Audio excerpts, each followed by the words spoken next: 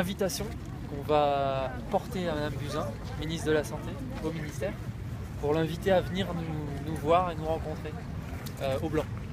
Voilà, on, on va voir si ça marche.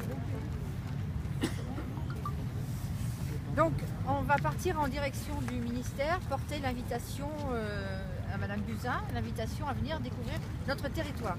Donc, nous avons rédigé un petit texte que je vais vous lire, comme ça tout le monde aura connaissance de ce qu'on a pu écrire. Voilà. Donc, le collectif C'est pas de mal la veille du Blanc dans l'Indre vous invite à découvrir sa région. Pour ce faire, vous pourrez prendre le train qui vous déposera à Poitiers, à Châtellerault ou à Châteauroux, ville distante de 60 km. C'est exactement la même distance que vous imposez aux femmes de notre territoire pour trouver un service de maternité.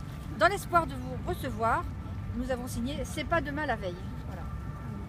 Donc nous allons, remettre, euh, nous allons nous mettre en marche pour aller euh, déposer cette lettre à- au ministère de la Santé. Nous ne verrons certainement pas Madame Buzyn, mais peut-être on aura la chance de voir un secrétariat, un portier qui pourra lui remettre. On espère.